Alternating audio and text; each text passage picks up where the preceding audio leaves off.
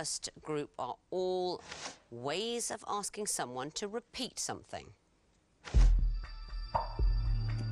Beekeepers? Beg your pardon.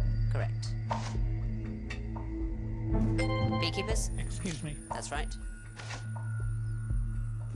Beekeepers? Come again. Correct. Beekeepers? Say what? Yes, it is. Next category things that are imagined in the song Imagine. Scholars? No countries. Correct.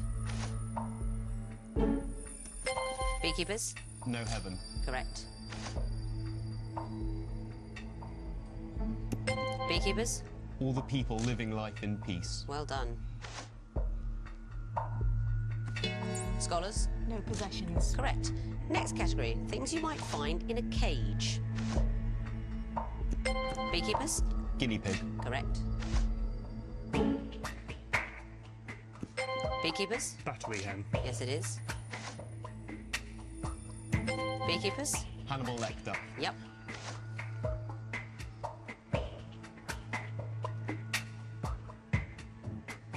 Weirdly, this one is thoracic cavity.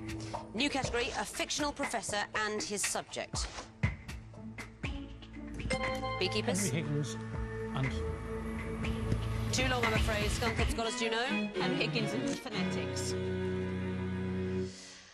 I will give you the point for Henry Higgins and phonetics, but the bell has gone for the end of the quiz. And I can tell you that the winners and through to the next round with 24 points are the beekeepers. Very well done to you. And finishing an honourable second with 14 points, it's the Scunthorpe Scholars. Scholars, it's been absolutely lovely to meet you. Thank you for playing. I'm afraid I must tell you that you are not in our highest scoring second place finishers, but it's been fantastic to meet you at the quiz and uh, you've been a really fun team. Thank you very much for playing. Thank you. thank you. You we will see again.